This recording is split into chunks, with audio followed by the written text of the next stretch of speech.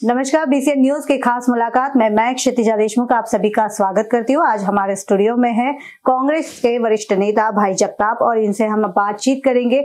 फ़िलहाल जो है नागपुर में शीत सत्र शुरू है और शीत सत्र के दौरान जो है विपक्ष हावी होता हमें दिखाई दे रहा है और इसी मुद्दे को लेकर और साथ ही साथ राज्य के अन्य मुद्दों के लेकर हम आज उनसे चर्चा करेंगे। सबसे पहले मैं स्वागत करती हूँ सर आपका। बहुत बहुत धन्यवाद आप यहाँ आए। जी।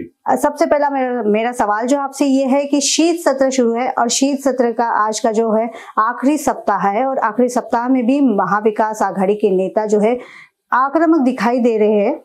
आज भी हमने देखा कि आपने सभा का त्याग किया है मतलब विधान परिषद के नेताओं ने सभा का त्याग किया है और कहा जा रहा है कि हमें सदन में जो है बोलने का मौका नहीं दिया जाता, मुद्दों को लेकर हम बोल नहीं पाते। तो क्या बताओगे, कितनी सच्चाई है? नहीं, इसमें सच्चाई है क्योंकि हमने जब ये सदन में ये मुद्दे उठा रहे थे हम लोग क्या है कि हमारे कुछ विपक्ष के कुछ अस्त्र है कुछ डिवाइसेस है उसके माध्यम से हम हमारी बात सदन में रख सकते हैं। जैसे 289 289 एक ऐसा प्रावधान है कि विपक्ष उसमें बात कर सकता है। सरकारी पक्ष इसमें बात नहीं कर सकता। उनके पास दूसरे कोई ये है विकल्प है वो उसका इस्तेमाल कर सकते हैं। तो हमने 289 के माध्यम से आ, हमारे विरोध पक्ष नेता बादाजी दानवे ने एक मुद्दा उठाया था कि आ, दाऊद इब्राहिम के भाई इकबाल कास्कर के रिश्ते में, उनके करीबी रिश्ते में शादी थी और उसमें, उस वक्त के ये जो है गार्डियन मिनिस्टर गिरीश महाजन, वो वहाँ मौजूद थे, खाना खा रहे थे उनके साथ। और भाजपा के विधायक थे, आमदार थे, भाजपा के यहाँ के नगर सेवक थे, कॉरपोरेटर थे तो वो सारी बातें उन्होंने उस माध्यम से उठाई थी। अब ऐसा है कि एक आपने देखा होगा पिछले हफ़्ते एक शिवसेना के कोई नेता नासिक के और वो कहीं ना कहीं दिखाई दे दे किसके साथ फ़ोटो थी उनकी तो उनके ऊपर कार्रवाई हुई। होनी चाहिए, नहीं होनी चाहिए, मुद्दा और है। पर अगर उनका फ़ोटो लेके कोई ये होती है कार्रवाई होती है तो इनका भी फ़ोटो उनके साथ है खाना खाते हुए। अब उसकी स्टोरी इस तरह की है कि ये मुद्दा तभी उठा था ये 2018 की बात है तभी उठा था। तो ये शादी में जिस शादी में ये गए थे उसका जो इनविटेशन था वो एक रात में उसको चेंज किया गया। ये दावा कर रहे हैं अमरदास जी दान में उनके पास कोई प्रूफ है। अब उस मुद्दे को लेके बातें चली। वो उसमें उप मुख्यमंत्री और राज्य के गृह मंत्री होम मिनिस्टर देवेंद्र जी आए और उन्होंने सफ़ाई दी उसके ऊपर। और उन्होंने मांगे कि इन्हें माफ़ी मांगनी चाहिए। अब ऐसा है कि इतने हल्के में अगर हर चीज़ कोई लेता है, सरकार लेती है तो वो सही नहीं है। उस मुद्दे को हम लोगों ने और ज़्यादा ये कराया कि भाई इसमें आप तहकीकात करिए। इसके ऊपर एस आई टी बिठाइए और दूध का दूध पानी का पानी हो जाएगा। तो उसमें सरकार के ओर से कुछ लोग बात कर रहे थे कुछ मंत्री बात कर रहे थे जो कि अलाउड नहीं है।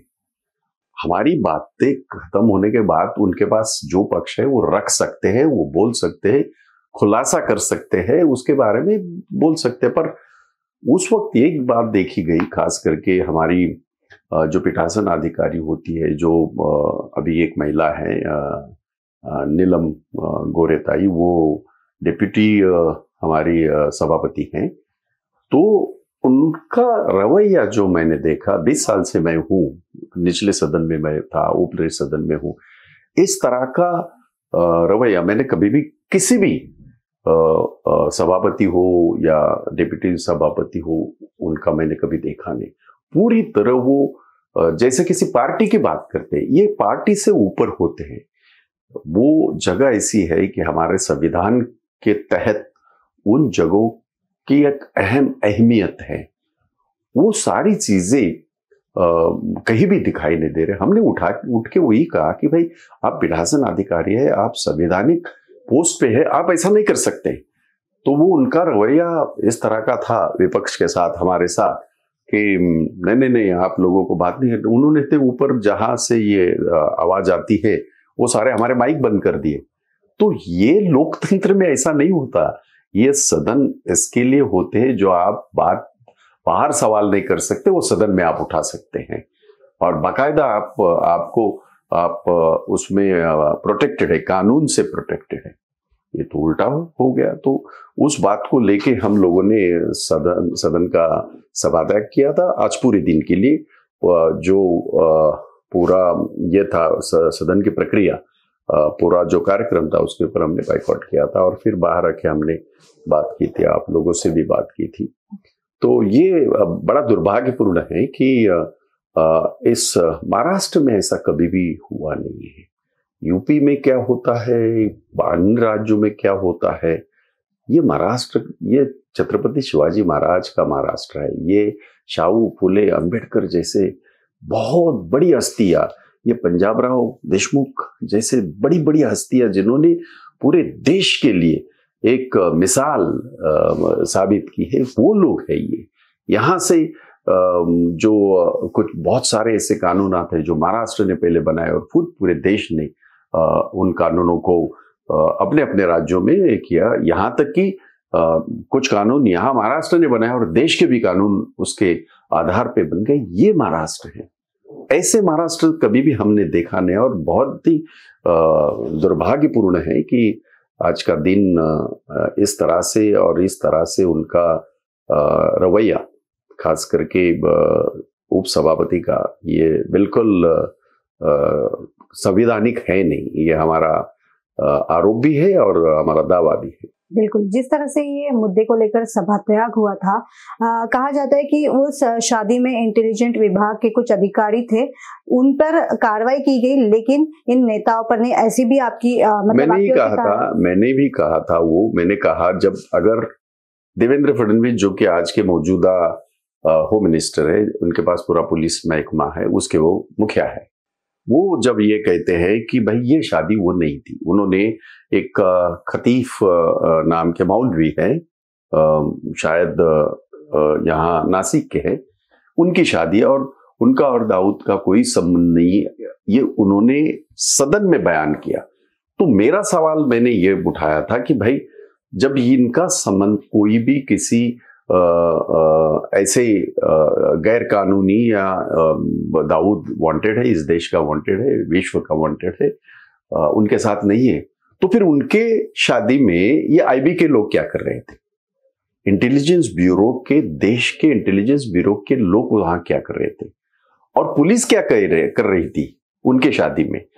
जिनका संबंध इन सारे घटकों से नहीं है। ऐसा दावा अगर सरकार करती है और उप मुख्यमंत्री देवेंद्र फडणवीस जो उन्होंने सदन पे कहा तो सदन में कहा तो तभी मैंने ये कहा कि फिर वो अधिकारी जो इस शादी में शरीक हुए थे मौजूद थे उनके ऊपर कार्रवाई क्यों हुई? बिल्कुल। और आपने कार्रवाई की अभी मांग भी की है। बिल्कुल की है हमने उनके ऊपर तो आगे आप आप या कांग्रेस की क्या भूमिका रहेंगी इस मुद्दे को नहीं इसमें सिर्फ़ कांग्रेस की बात नहीं हम लोग जो विरोधी है, उसमें सारे हैं। उसमें कांग्रेस है, उसमें राष्ट्रवादी पवार साहब की राष्ट्रवादी, अभी राष्ट्रवादी में दो हुए। बड़ी मुश्किल है। शिवसेना है उद्धव जी की कांग्रेस है। तो हम सारे मिलके हम लोगों ने यही सवाल पूछा। सवाल ये नहीं है कि आप विपक्ष का आवाज़ इस तरह से नहीं दबा सकते।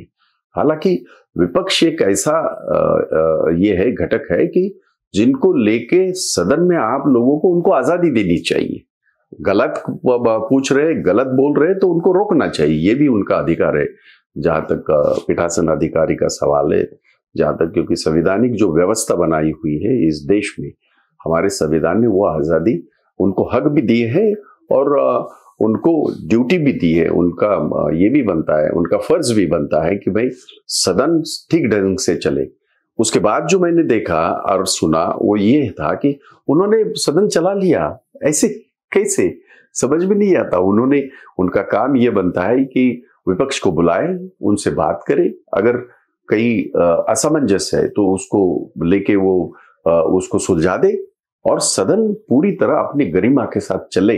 ये अपेक्षा होती है पीठासन अधिकारियों की ओर से या उनसे हमारी अपेक्षा होती है। देश की अपेक्षा होती है संविधान की अपेक्षा हुई है।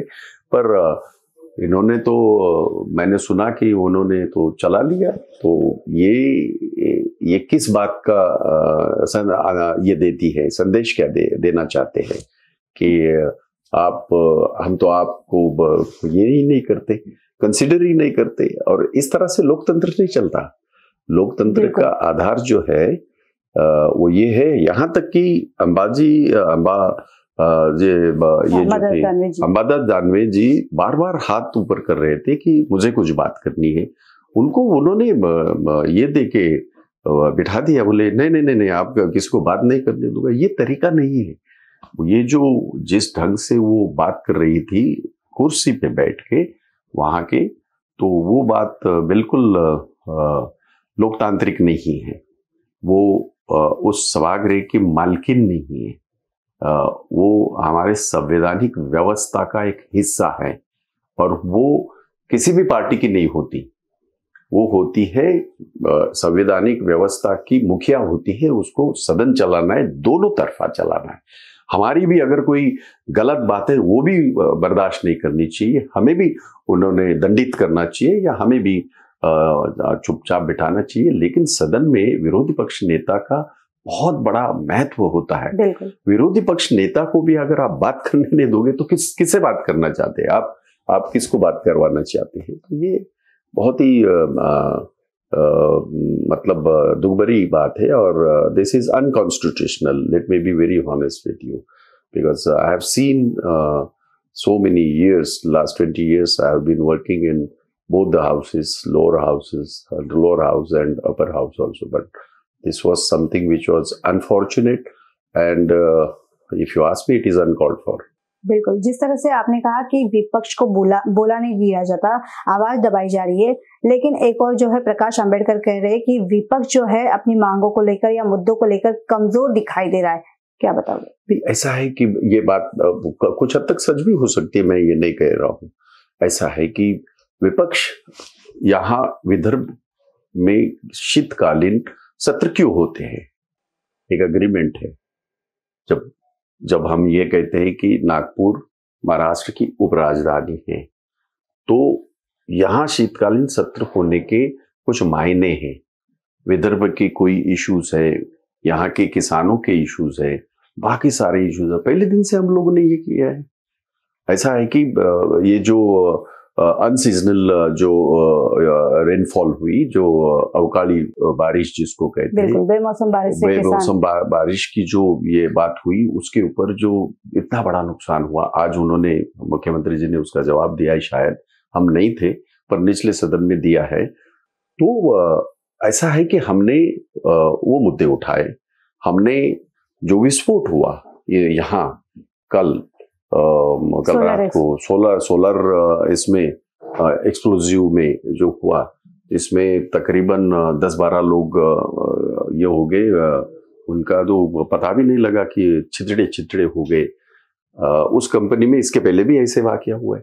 तो आप ऐसे कैसे कर सकते हैं? किसी की ज़िंदगी के साथ किसी की अगर जान जाती है तो चाहे कौन सी भी कंपनी हो इस तरह का ये नहीं होता रेड जोन में जो कंपनियाँ आती है, उसकी एक गाइडलाइन होती है एसओपी बोलते हैं उसको स्टैंडर्ड ऑपरेटिंग प्रोसेसेस वो अगर वो फॉलो नहीं करते, किसी के जीवन के साथ खेलने का अधिकार किसी को भी नहीं है। देश के कानून, देश के नागरिकों के लिए बने हैं, नागरिक कानून के लिए नहीं बने हैं। तो उस मुद्दे को लेके भी हमने मुद्दा उठाया, आवाज़ उठाई।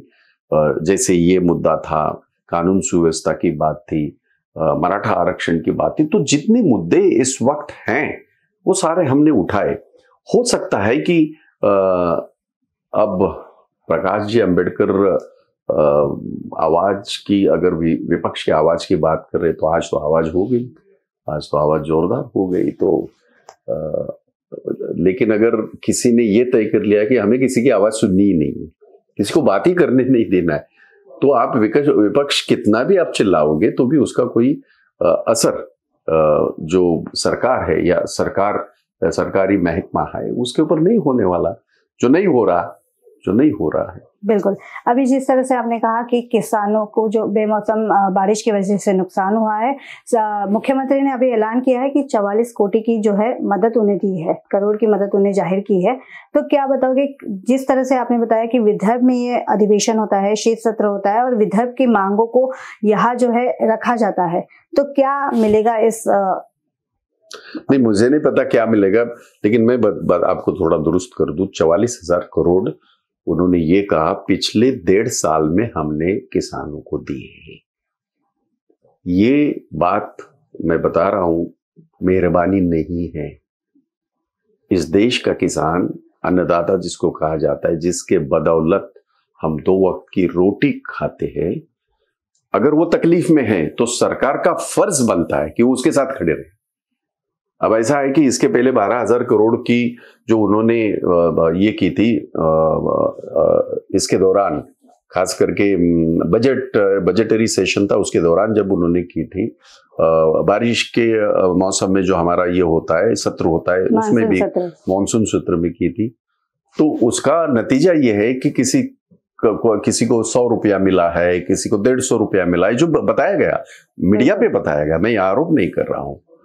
अब ऐसा है कि ये अगर हालात रहे और उसमें एक अच्छी खासी फ़सल बनी है और बेमौसम बारिश की वजह से वो फ़सल खत्म हो गई तो वो बेचारा साल भर में क्या खाएगा?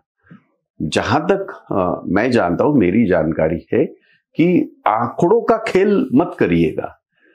लोगों तक क्या पहुँचा ये इंपॉर्टेंट है। पहली बार ऐसा हुआ यूपीए वन में ये निर्णय लिया गया था। देश के सारे किसानों का बहत्तर हज़ार करोड़ का ऋण कर्जा माफ़ किया गया था। क्योंकि देश का किसान पूरे, सिर्फ़ महाराष्ट्र का नहीं, देश का सारा किसान जो है, जो आपको और हमें ये अनाज उगाता है, हमारे लिए, देश के लिए अनाज उगाता है। पहली बार ऐसा हुआ। पिछले दस सालों में, नरेंद्र मोदी जी की सरकार है और आपने देखा होगा किसानों की क्या हालत हुई? किसानों के जो तीन काले कानून जो बनाए गए जिसके लिए तीन सौ सत्तर दिन देश के किसान दिल्ली के दहलीज पे बैठे थे और ये हमारे देश के प्रधानमंत्री उसमें जुड़े थे कि ये आ, सारे आतंकवादी है। आ, लाल किले में जो कुछ तमाशा हुआ वो आपने देखा। और कभी भी एक आँसू भी, वैसे मगरमच्छ के आँसू बहुत बहा, बहाते हैं छोटी छोटी बातों में और बहुत सारे मुद्दों में, लेकिन देश के किसान वहाँ बैठे थे 370 दिन और तकरीबन 600 से ज़्यादा लोगों ने शहादत दी, सिर्फ़ और सिर्फ़ ये कानून के लिए। हार के उनको ये तीन जो कानून है वो पीछे लेने पड़े। अभी तक विड्रॉ नहीं किए, वादा किया था किसानों से। कि हम इसको विड्रॉ करेंगे। अब तक विड्रॉ नहीं हुआ। ये देश के प्रधानमंत्री का रवैया है। उन्हीं को देख के प्रदेश में आज महाराष्ट्र में जो हो रहा है वो बहुत ही बुरा असर इस बात का हर पूरे देश में आ रहा है और आजकल सिर्फ़ किसानों की बात करके भाषण करके होने वाला नहीं। चलो विदर्भ की बात करते हैं। कपास की क्या हालत है? हमारे यहाँ हाँ। जो ये बना प्याज बना ताजुब इस बात का है जब प्याज बनता है तब आप उनको एक्सपोर्ट का ये नहीं देते दलील देते हैं कि देश में पूरे प्याज की उपज जो है कम है। और तो कम है तो इनके इनका इनका उठाओ और ले जाओ। आज मैंने सुना ये बात मुझे पूरी तरह पता नहीं फिर भी मैं बता रहा हूँ कि आ, कपास को लेके पाँच हज़ार का रेट दिया गया है। अरे तो उस वक्त कपास बनती ही नहीं उसका खर्चा ही उससे उस, ज़्यादा है। और आप यहाँ बड़े बड़े आंकड़े बता के अगर आप ये कह रहे हैं कि आप, आप किसानों के बहुत बड़े ये है सपोर्टर है तो आई थिंक वो कोई ठीक है पॉलिटिकली आप भाषण करिए आंकड़े दे दीजिए।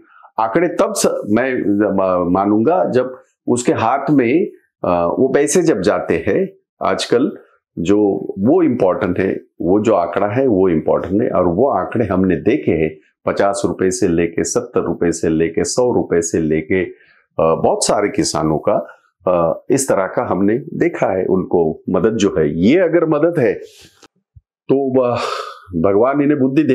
बिल्कुल। जिस तरह से हम देख रहे हैं कि राज्य में कई मुद्दे हैं जिसमें बेरोजगारी का मुद्दा चरम पर है तो कांग्रेस की इस मुद्दे को लेकर क्या भूमिका रहेगी? हमेशा कांग्रेस ने यह मुद्दा उठाया है। सिर्फ़ उठाया नहीं है आपको याद होगा, इस देश के प्रधानमंत्री जी ने कहा था शुरुआत में, हर साल दो करोड़ नौकरियाँ देंगे। उसके बाद ये वही प्रधानमंत्री है, उसमें बदलाव करके पिछली बार जब दोबारा चुन के आए तो उन्होंने वो आंकड़ा नीचे लाया था। अब ऐसा है, देश के प्रधानमंत्री बहुत इसमें एक नई संसद उन्होंने बनाई, ठीक है, बनानी चाहिए वो तेरह चौदह हज़ार करोड़ के लागत से नई संसद बनी। और नया हर चीज़ नई होनी चाहिए।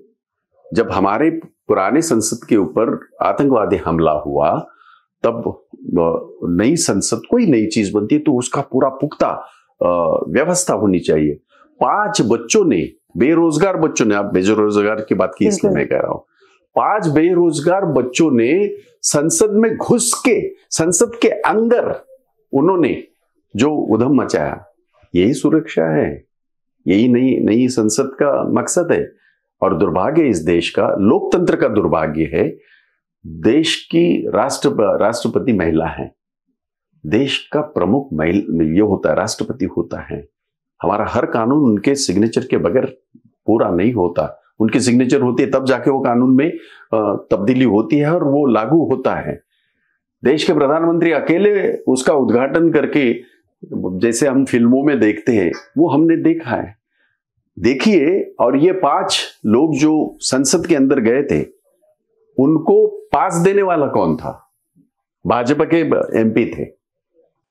तो ये हालात है और उन बच्चों ने कहा हम बेकार है हमें नौकरी नहीं मिलती उनमें कोई इंजीनियर है कोई और है। तो ये हालात है देश के आ, आ, आ, इसके। हमारे बेरोजगार जो है उनके ये हालात है। तो ये देश के प्रधानमंत्री चाहे कितनी भी बड़ी बड़ी बातें करे नौकरियाँ तब होगी जब विदेश से कोई बड़ी बड़ी कंपनियाँ आएँगी। इस देश में जहाँ सुई भी नहीं बनती थी जब हम आज़ाद हुए थे 1947 में। उससे लेके 70 साल में जो इस देश बना गया इसका ताना बाना जो सारे हम लोग देखते हैं कभी भी ये माहौल हमारे देश में था नहीं। और कभी भी ऐसा माहौल होता तो सारे लोग बैठ के उसके ऊपर विचार विनिमय करते थे और वो माहौल जो है, अगर गलत है तो उसको सुधार देते थे। जहाँ तक नौकरियों का सवाल है देश के जो ये विभाग है खास करके लेबर विभाग है, उनकी एक वेबसाइट है।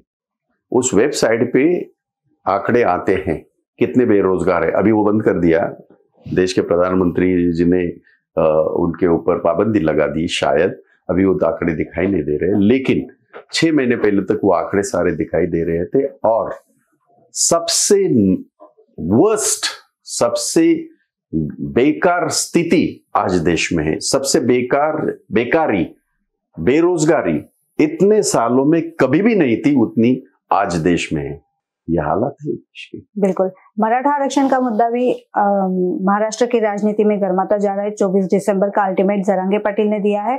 और उसके बाद अगर कुछ निर्णय नहीं आता है, कुछ हल नहीं निकलता है तो मुंबई में मोर्चे की भी बात उन्होंने कही है। और उस पर ऐसा भी कहा गया है कि वहाँ हमला होने की आशंका भी है। तो कैसा देख रहे हो? और मराठा आरक्षण को लेकर कांग्रेस की क्या भूमिका है? नहीं, देखिए, एक तो पहले ये इतना छोटा विषय नहीं है, ये बहुत बड़ा विषय है। इस बात को जानने के लिए आज़ादी के पहले भी जाना पड़ेगा, आज़ादी के बाद में भी हम लोगों को जाना पड़ेगा। 1902 में छत्रपति शाहू महाराज, जो कि कोल्हापुर संस्थान के राजा रहे, उन्होंने इस देश में सबसे पहले आरक्षण डिक्लेयर किया था। और उस वक्त मराठों को भी आरक्षण उन्होंने दिया था।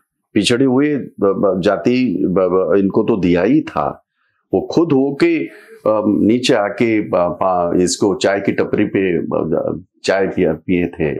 एक जब पिछड़े हुए, पिछड़े समाज के एक बन इस, इन्होंने जब अपनी चाय की टपरी डाली थी तो ये एक महान व्यक्ति रहे। तब से लेके जब तक ये मंडल आयोग लागू नहीं हुआ, तब तक इसमें, शिक्षा में और नौकरी में मराठों को आरक्षण था। मंडल आयोग आने के बाद जो सारी दीवारें जो हमारे सामने आई, वो उसके बाद मराठों को वहाँ आरक्षण नहीं मिला। ओबीसी में उनकी ये नहीं हुई, उनको शामिल नहीं किया गया। मैं ये बात 1992-93 की कर रहा हूँ। अब ऐसा है कि ये जो आज बैठे हुए भाजपा के जो लोग हैं, सारे जो अपने आप को देश के नेता समझते हैं, इन्होंने तो विरोध किया था मंडल आयोग को। ये मंडल आयोग को क्या करते थे, क्या कह रहे थे? ये मंडल नहीं, ये कमंडल है, ये बंडल है, ये उनका उनका कहना मेरा नहीं है।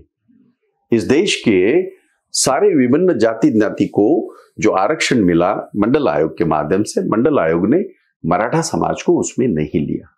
पर ऐसा है कि चंद मराठा जो ये है मंत्री है, कितने हो सकते हैं मंत्री अभी तक सत्तर साल में? हज़ार, दो हज़ार, पाँच हज़ार? कितने ये जो शुगर लॉबी के लोग हो सकते हैं? दो चार हज़ार, दस हज़ार? कितने ऐसे जिला परिषद के हैं, कोऑपरेटिव सेक्टर में है? तो ये पाँच पच्चीस हज़ार लोगों से पूरा मराठा समाज नहीं होता। एक बात आप लोगों को जानना ज़रूरी है, जो मैंने सदन में भी कही है पूरे देश में। 32 परसेंट एक समाज, एक जाति, एक ज्ञाति इस देश में किसी भी प्रदेश में नहीं है। सिर्फ़ महाराष्ट्र में मराठा समाज है। ये जानने की ज़रूरत है, ये आवश्यकता है। और ये मैं नहीं कह रहा हूँ 1932 में जब अंग्रेज़ों ने ये किया था सेंसस किया था, उसमें था, और वो डिक्लेयर्ड है 1942 में सेंसस में है। 32 परसेंट मराठा समाज इस प्रदेश में है। वो सारा अमीर है क्या? और वो मांग क्या रहे? वो पॉलिटिकल आरक्षण नहीं मांग रहे। वो मांग रहे हैं कि भाई हमें नौ, इसमें नौकरी में आरक्षण दे दीजिए, हमें शिक्षा में खास करके आरक्षण दे दीजिए। आपको एक बात और भी बता दूँ, ये बात भी मैंने सदन में रखी है।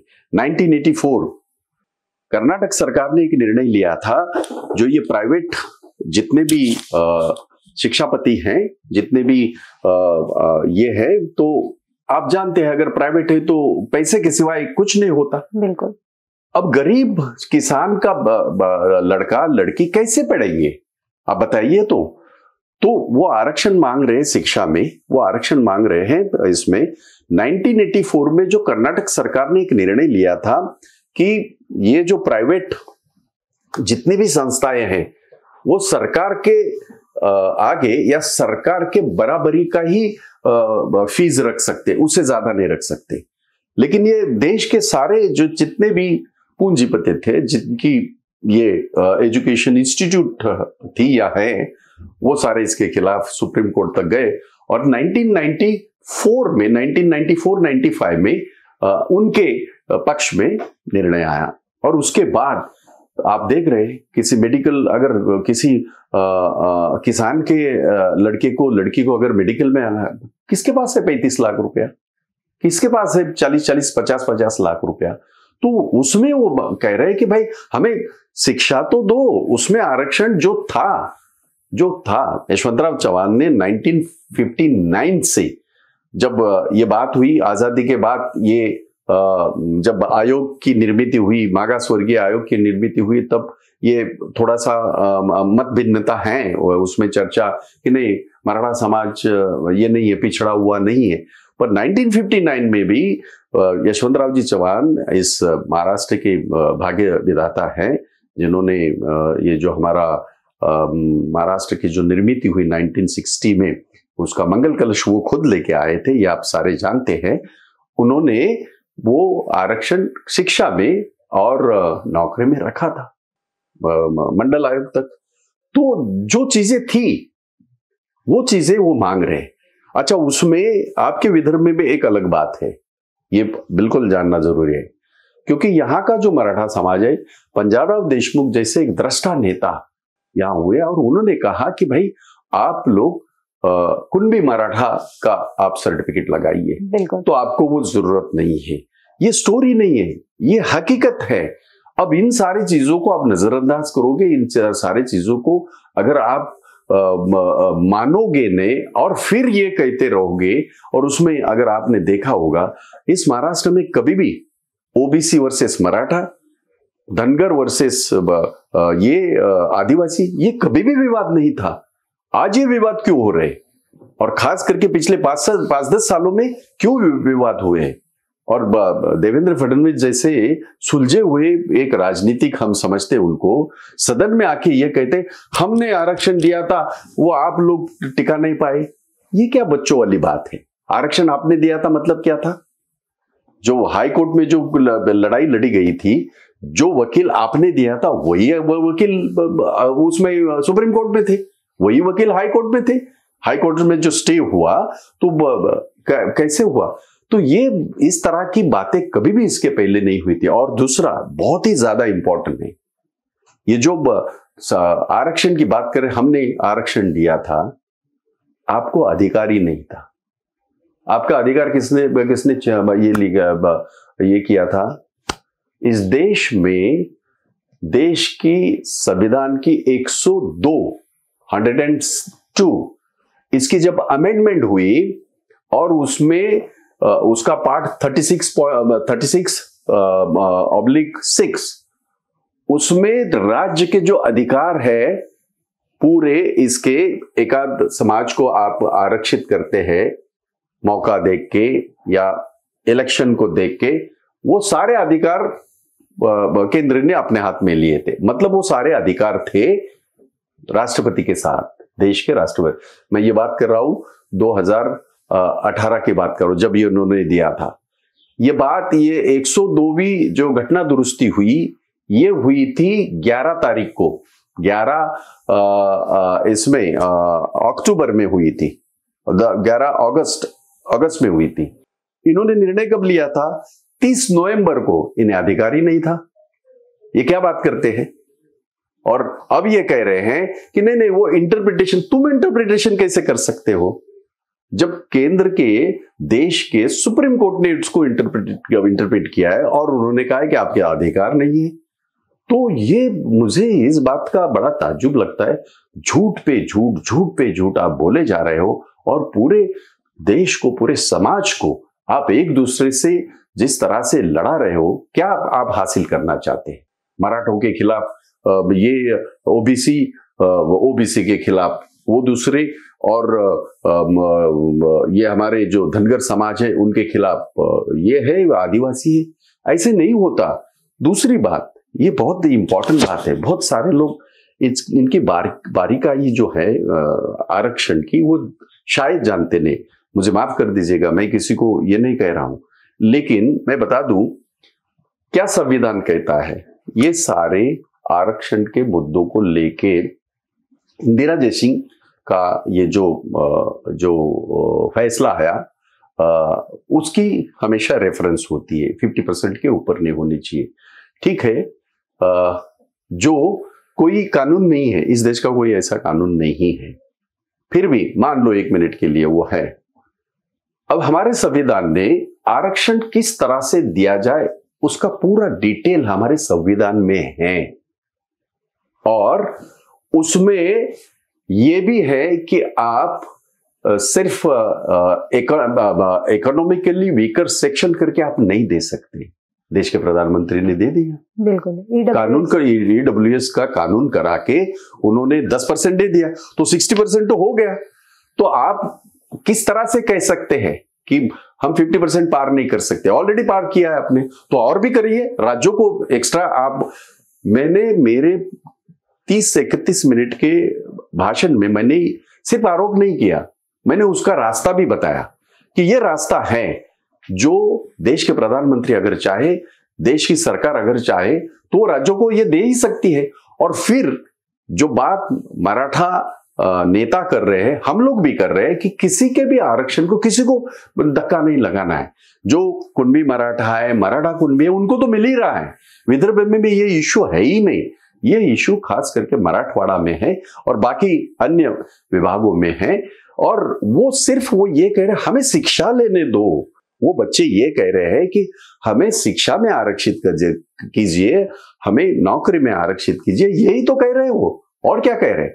तो ये सारे कानूनी प्रावधान आपके सामने हैं, लेकिन आपकी मानसिकता ये नहीं है आपको ओबीसी को लड़ाना है मराठों के खिलाफ, मराठों के मराठों को लड़ाना है ओबीसी के खिलाफ, आपको लड़ाना है धनगरों को आदिवासियों के खिलाफ, आदिवासियों को लड़ाना है ये धनगरों के खिलाफ, और आपको बस राज करना है। और यही इस तरह की भाषा जो वो करते हैं हमेशा, हमने दे दिया, ये लोग उसको कोर्ट में टिकाने पाए।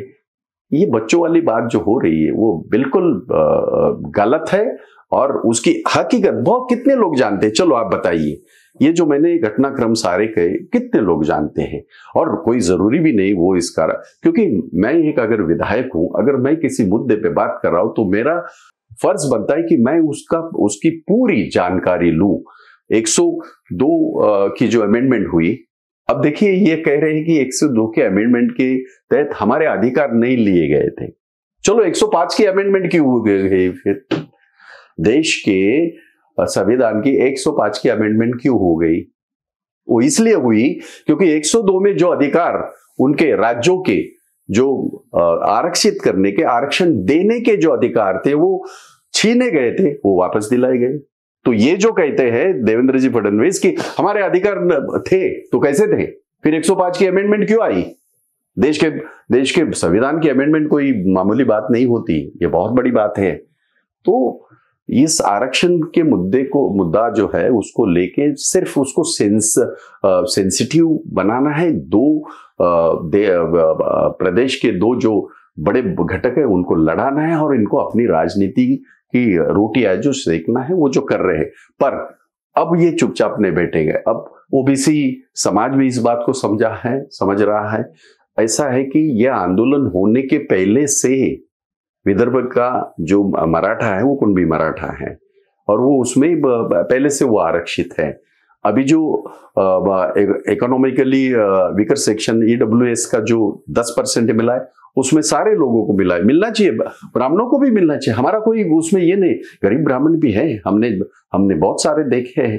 तो उससे हमारा विरोध नहीं है। लेकिन आप ये अधिकार राज्यों को दे के राज्य के जो मसले बहुत सारे इसमें इस देश में गुर्जर आंदोलन है इस देश में जाट आंदोलन है इस देश में बाकी सारे प्रदेशों का आंदोलन है। ये सारे आंदोलन जो है ये बिल्कुल ये हो सकते हैं उनको न्याय भी दिया जा सकता है वो प्रदेश को भी ये हो सकता है। तो हमने वो मांग की है मैंने वो मेरी आ, मेरे इसमें संबोधन में मैंने ये बात कही है। बिल्कुल। जिस तरह से आज जो है सुधीर मुनगंटीवार ने मीडिया से बात करते हुए कहा कि इंडिया आघाड़ी की बैठक हो, आज जो हुई है, जिसमें केजरीवाल उद्धव ठाकरे मिलने वाले हैं तो उन्होंने कहा है कि जितनी बैठकें होती है, उतनी बीजेपी की जीत वहाँ हो रही है और अभी जो पाँच राज्यों के चुनाव हुए, उसमें दिखाई दिया है। क्या कहो? नहीं, मैं एक बात बता दूँ कि जब मेरी सरकार थी, तभी ईवीएम के बारे में ये जो किरीट सुमैया जो बहुत बग बग बग बग करते हैं और जिस तरह से उन्होंने गंदी हरकतें की है, आप जानते भी है, उनका मकसद क्या होता है? पर उस वक्त हमारे केंद्र में सरकार थी, यूपीए वन थी। महाराष्ट्र में हमारी सरकार थी, देश के विभिन्न राज्यों में हमारी सरकार थी। और उस वक्त उन्होंने एक सवाल उठाया था कि ये ईवीएम टेम्पर हो सकती है। तभी मैं प्रवक्ता था कांग्रेस का। मैंने इसमें आपके मीडिया के सामने मैंने कहा था, अगर उनके दिमाग में ये सवाल है तो उसका जवाब हमें देना चाहिए। और रही बात खास करके ईवीएम को लेके मैं बताना चाहता हूँ आपको, ये ईवीएम टैंपर हो ही सकती है। ये मैं नहीं कह रहा हूँ, ये विश्व में सारे जो ये है, वो सारे कह रहे हैं। और जिन्होंने ये ईवीएम की शुरुआत की थी, चाहे वो जर्मनी हो, चाहे फ्रांस हो, उन्होंने तुरंत बंद कर दिया। क्योंकि उनको पता लगा कि लोकतंत्र इससे नहीं चलेगा। अब वो हमारा तो मैं तो मैंने इसके पहले भी चैलेंज किया था देश की इनको इनकी सरकार को भाजपा को। चलो आप हिम्मत दिखाइए और ईवीएम के अलावा आप इलेक्शन करवाइए इस देश में। चलो। बिल्कुल बैलेट पेपर से बैलेट पेपर के ऊपर चुनाव की और की गई है। चुनाव पे मांग मांग की है और आप हर छह महीने में हमारे हाथ में जो मोबाइल है उसमें बदलाव आता है टेक्नोलॉजी बदलती है। ये 2000 पहले की ये जो 25 साल पुरानी ये जो तकनीक है उसमें तो बहुत सारा बदलाव आ गया। तो आप उसको लेके क्यों बैठे तो ये मुनगट्टीवार क्या कहते हैं वो उनको कहने दो। आ, हकीकत ये है कि आ, ये ईवीएम को लेके उनका पूरा कंट्रोल है। देश के पूरे इलेक्शन कमीशन के ऊपर कंट्रोल है। अभी तो सुप्रीम कोर्ट का ये था, वो भी निकाल निकाल दिया गया। यानी इलेक्शन कमीशन के, कमिश्नर की जो ये होती है, या नियुक्ति होती है, उसमें एक अपेक्स बॉडी बैठती है, उसमें सुप्रीम कोर्ट के जो हमारे न्यायाधीश हुआ करते थे, वो रहते थे। अभी वो भी नहीं है। अभी तो मनमानी हुई है, जो नरेंद्र मोदी जी चाहेंगे, जो अमित शाह चाहेंगे, वही देश में हो रहा है। तो इसे लोकतंत्र कहो। कह सकते हैं आप, और उसमें अगर, उस जीत में अगर आप, आपकी जीत कह रहे हैं तो मैं बताना चाहता हूँ कि इस देश का नागरिक डेढ़ सौ साल जिन्होंने राज किया, उनके खिलाफ रास्ते पे जब उतरा था, आपके खिलाफ भी उतरेगा। बिल्कुल। जिस तरह से अभी चुनाव की बात हुई है, चुनाव 2024 लोकसभा के चुनाव है और उससे पहले जो अभी हमने देखा कि राहुल गांधी ने पूरे देश भर में यात्रा निकाली थी, उसका कितना फ़ायदा इस चुनाव में होगा और क्या रणनीति रहेगी कांग्रेस की, क्या बता सबसे पहले मैं आपको बता दूँ, आप राहुल गांधी जी के भारत जोड़ो को पॉलिटिकली इसको आप कनेक्ट मत कीजिएगा। राहुल गांधी ने कभी भी ये नहीं कहा कि मैं कांग्रेस के लिए ये कर रहा हूँ। जी नहीं। उन्होंने साफ़ कह दिया था, मैं खुद और देश के सारे लोग वहाँ मौजूद थे। जहाँ कन्याकुमारी से निकले। उन्होंने ये कहा था कि मैं, मेरा देश जो आज पूरी तरह पूरी तरह धर्मों में, जातियों में बटवा बंटवाने का पाप, ये जो भाजपा की सरकार निकले, मैं उसको जोड़ने का काम कर रहा हूँ। ये वही सरकार है भाजपा की, ये वही नरेंद्र मोदी जी है और उनके सारे चमचे, चपाटे हैं सारे, जो कह रहे थे कुछ नहीं होगा। जब लोग, लाखों लोग जोड़ना शुरू हो रहे तब जब जाके ये इनको लगा कि भाई ये कुछ और हो रहा है, और जो हो रहा है। ऐसा है कि उन्होंने पॉलिटिकली ये नहीं कहा कि मैं कांग्रेस के लिए भारत जोड़ो अभियान कर रहा हूँ। उन्होंने ये कहा था और मैं बिल्कुल उसको रिपीट करना चाहता हूँ। मेरा देश जो पूरी तरह बिखर चुका है पिछले दस सालों में, उसको जोड़ने का काम राहुल गांधी ने किया और वो लगातार करते रहेंगे। बिल्कुल। लोकसभा चुनाव को लेकर कांग्रेस की क्या रणनीति है? किस तरह की भूमिका रहने वाली कांग्रेस की भूमिका एकदम स्पष्ट है कि इस लोकतंत्र में जो हर रोज हमारे लोकतंत्र की तोहिन हो रही है हर रोज लोकतंत्र को पैरों तले कुचला जा रहा है। सबसे पहले लोकतंत्र क्यों होना चाहिए? सरकारें क्यों होनी चाहिए? इसलिए होनी चाहिए क्योंकि सत्ता का विकेंद्रीकरण नीचे जाके ये जो पंचायत राज जो आप देख रहे हैं, जो कांग्रेस की देन है, जो कांग्रेस की देन है, आज ग्राम पंचायत के जब ये होते सदस्य या ग्राम पंचायत का हमारा जो ये होता है, मुखिया होता है, सरपंच होता है, वो जो निर्णय लेते हैं, वो देश के प्रधानमंत्री भी उसको बदली नहीं कर, बदल नहीं कर सकते, ये लोकतंत्र है। और लोकतंत्र का मतलब होता है कि उसमें जो पिछड़ा हुआ समाज है, जो पिछड़े हुए लोग हैं, जो माइनॉरिटी है, जो गरीब है, उनको उससे फ़ायदा हो। हमारे देश के प्रधानमंत्री फ़ायदा तो अंबानी, अदानी और उनके जो एक सात आठ जो उनके आजू बाजू में है उनका ही कर रहे हैं। मैं नहीं कह रहा हूँ, आपके दे अब हमारे देश के सारे एयरपोर्ट अदानी को दिए गए, सारे बंदरगाह अदानी को दिए गए। अब मुंबई की सबसे बड़ी झोपड़पट्टी, वो भी अदानी को दी गई। अब अगर ऐसा है, इसको लोकतंत्र कहेंगे आप? अदानी का एसी जेड गुजरात में है, दस हज़ार एकड़ में। कोई बात नहीं, वो भरे बीस हज़ार एकड़ में रहे। कोई हमें, कोई उससे नहीं। अगर उसे रोज़गार मिलता है उससे अगर देश सुधरता है। सबसे ज़्यादा ड्रग्स, इसी बंदरगाह पे, अदानी के बंदरगाह पे, इस देश में इतना बड़ा ड्रग्स कभी भी नहीं आया था, जो अदानी के बंदरगाह पे आए कैसे आए हमारा सवाल है। इसका जवाब नहीं दे रहे। क्यों? शर्म आती है, डर लगता है। तो ये बहुत कुछ जैसे मालिक बन के बैठे हैं। ये देश के चालक वगैरह के नहीं बैठे हैं। लोकतंत्र ये कहता है कि आपको देश चलाना है। ये चलाने रहे, ये बस राज कर रहे हैं। वो जो चाहे, वही उसके लिए लोकतंत्र है। वो जो चाहे, वही वो करना चाहते हैं। तो दुर्भाग्य इस देश के 140 करोड़ के आबादी के देश के कि आज जो हालात हैं, वो कहीं कहीं ना कहीं इस तरह जाति में झगड़े, कई धर्मों में झगड़े, कई इसमें झगड़े, और ये बस अपने इसका फ़ायदा उठा रहे गलत फ़ायदा उठा रहे। और जैसा मैंने कहा कि ये जो कहते वक्त आप आप इतना बहुत भरोसा रखते हैं ना मुनगट्टीवार जी हो या जो भी कोई हो, वो जब कहते हैं ना, बहुत पॉपुलर है आप, बहुत आपको मानते, युग पुरुष मानते हैं, कहते हैं आपके। हैं तो आप गटर से गैस निकाल रहे थे, आप देश के युवाओं को भजिया तलने की बात कर रहे थे, आप इतने ज़्यादा एडवांस आपकी ये है नॉलेज है कि रडार के ऊपर अगर क्लाउड आ गए तो क्या होता ये आप ही ने कहा था तो हमारा सिंपल सा कहना है, आप बहुत पॉपुलर हो, आपको बहुत मानते हैं बैलॉट पे एक इलेक्शन करवाइए। हिम्मत है तो बैलॉट पे आप एक इलेक्शन करवाइए। और देखिए, देश की जनता आपको क्या मानती है?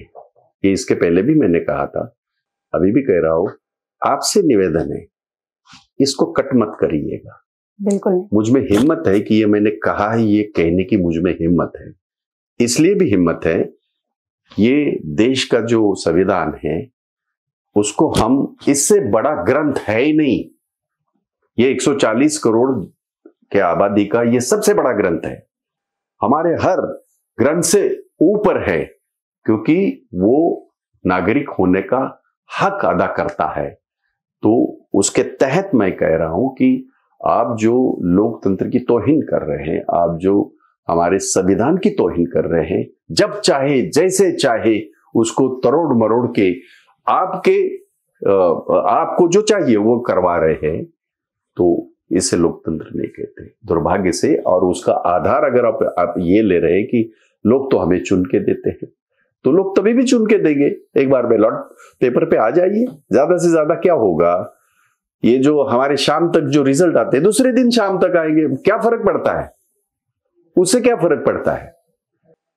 लेकिन उससे लोकतंत्र जो है मज़बूत बनेगा, जिससे लोकतंत्र जो है इस देश का पुख्ता बनेगा। बिल्कुल बहुत बहुत धन्यवाद। तो ये थे भाई जगताप हमारे साथ और हमने राज्य सहित देश के कई मुद्दों पर इनसे चर्चा की है। और आज के खास मुलाकात में वक्त चला यही। रुकने का आप देखते रहिए बीसीएन न्यूज़ नमस्कार। धन्यवाद। नमस्कार।